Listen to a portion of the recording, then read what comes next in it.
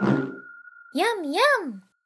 Greg here from Pixel Fondue. In this video, I'm going to slap some decals on this bag, and they're actually going to be geometry decals. They're going to be sort of shrink wrapped to this bag using UV transform. And I'm also going to be using an effect in the shader tree called RGBA, which is different than diffuse color. And it's actually super useful for decals because it'll take the alpha of your ping file and it'll use that as a stencil automatically. You don't have to set that up separately. So let me get going here. UV transform, I think there's uh, quite a few videos on it. And the first thing you typically do when using this is you have to make sure the mesh you're going to be shrink wrapping to has a UV map. And I bought this guy in ArtStation and it did come with a really good UV map actually, just using a mini props here to pop up my UV window. And so it came with this UV map, which is good. And it's all unwrapped and proportionate, and that's what you want. And I'm going to go up, up here to the texture dropdown and say uh, convert UVs to mesh. And so what this will do is it'll take that uh, UV map we just showed, it'll create that mesh out of that, and we can sit it right next to our bag as sort of a map on wh where we're going to draw our decals. We'll just call this, uh, well, yeah, UV mesh is fine.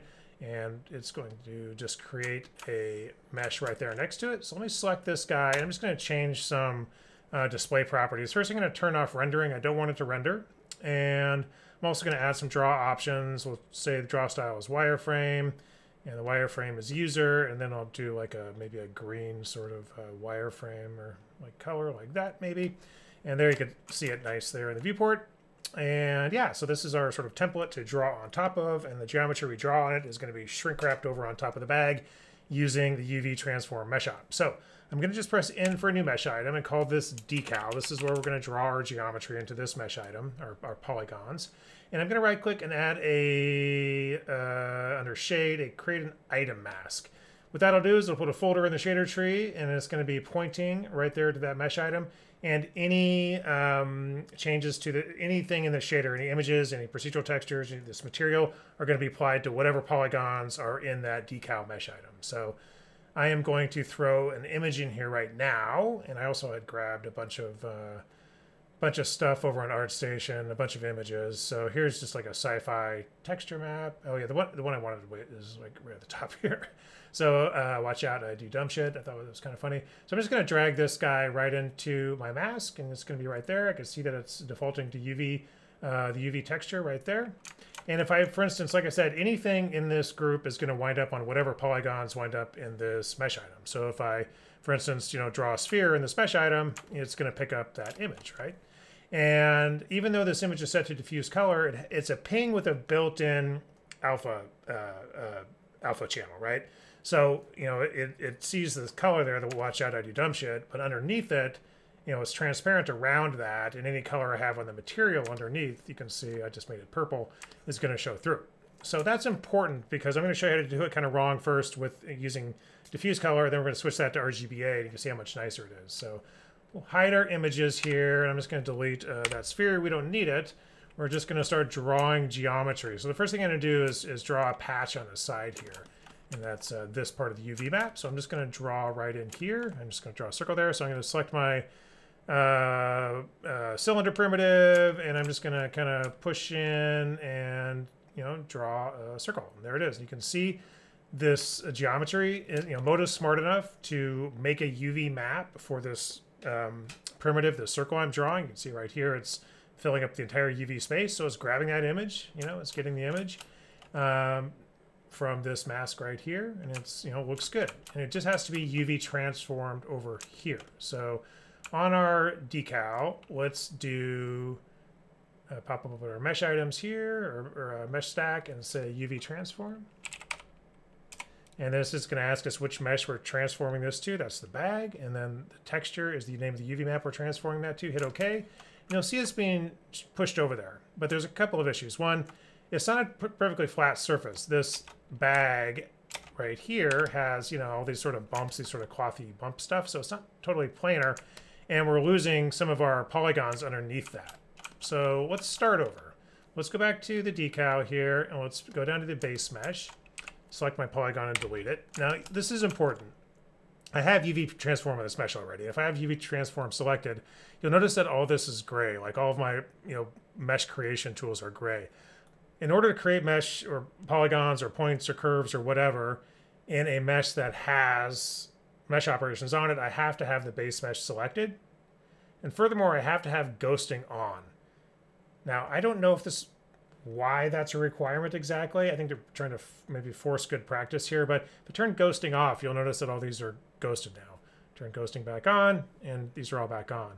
And so with ghosting on and with the base mesh selected, and again, I'm going to select my uh, uh, cylinder here. I'm just going to draw out another circle and put it on my uh, little circle right here. Let me just do a couple things. I'm going to turn on the corners so I can just drag the corners and sort of align it that way, but easier.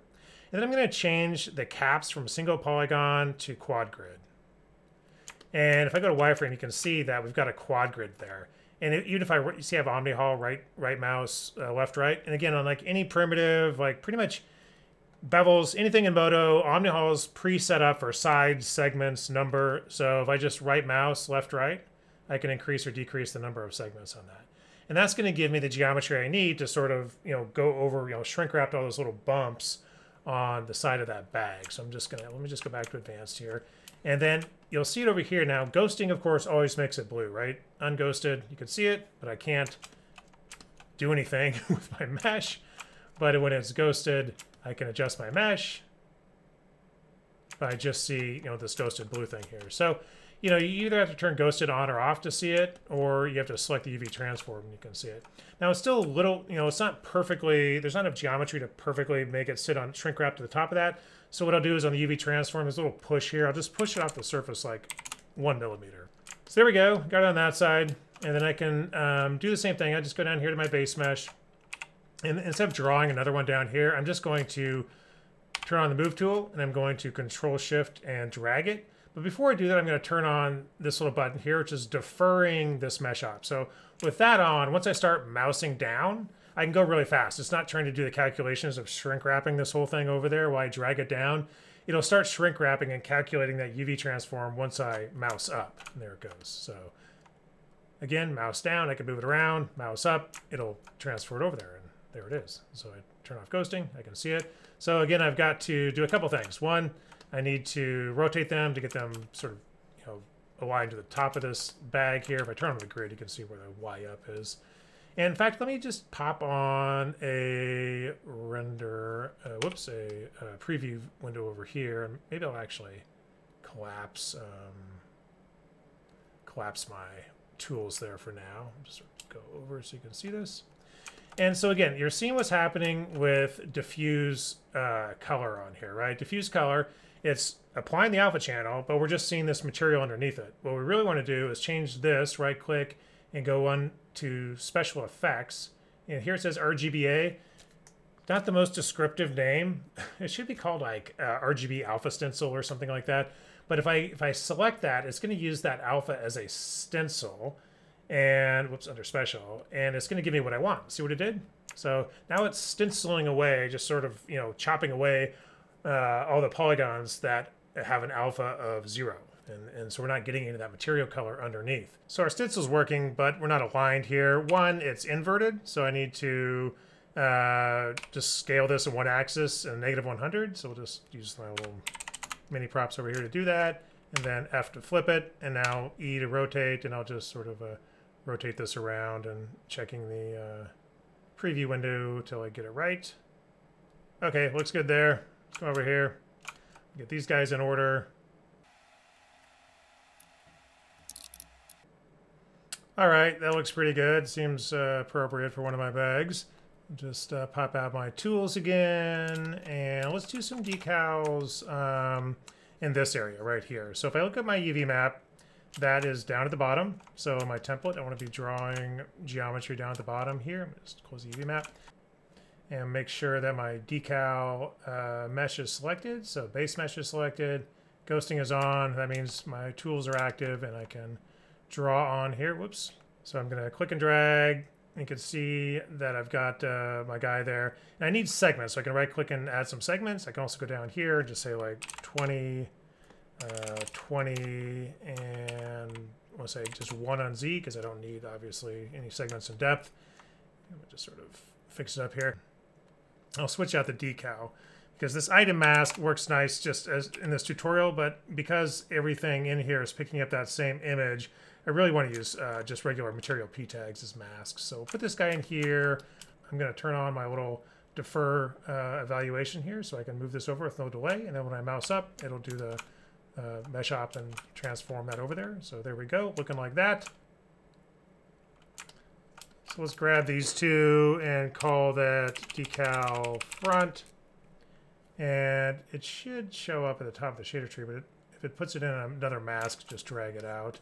And then these two over here I'll call decal sides. Okay, let me just drag that to the top. And that should be a bug. It should put those at the top automatically. Drag our decal uh, sides image to the sides here. I can delete that original mask And take a look. So there's our side decals. Our front decals are right here, so we need to get a sticker for them. So I'll go back over to my asset folder and find something relevant. Biohazard's always good. Again, you want to right click and go to recent and RGBA. When I change this one to front decal 2 and make it something else so it doesn't it's not exactly the same. I think you get the idea now. Though, let's just pick up another image. Maybe, uh, oh, yeah, Cyberpunk. Why not? Is the Cyberpunk bag there. So, there we go. Cyberpunk. I have that game on Steam. I have not played it yet. I've been waiting for it to uh, be done. Is it done? It's been like two years. Should I wait another year before I play it? I want the optimal experience. Anyway, so, you know, it's a kind of a cool way to work always freeze these mesh operations by right clicking and say freeze mesh operation freeze. So here you go, you have these decals that are actually geometry, so you could do things like uh, deform them or thicken them or do mesh ops on them or maybe do physics and shatter them and have them fall off, whatever. And instead of just a layer in the shader tree, they're actual decals made out of geometry. Yum, yum!